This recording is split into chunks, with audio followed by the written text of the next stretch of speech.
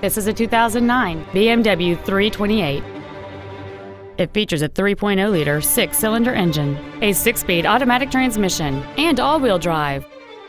Its top features include heated seats, xDrive, and a sunroof enables you to fill the cabin with fresh air at the push of a button. The following features are also included memory settings for the seat's positions so you can recall your favorite alignment with the push of one button, air conditioning with automatic climate control, cruise control, a premium sound system, BMW individual composition, side impact airbags, full power accessories, a rear window defroster, a CD player, and this vehicle has fewer than 66,000 miles on the odometer. Contact us today to schedule your opportunity to see this automobile in person.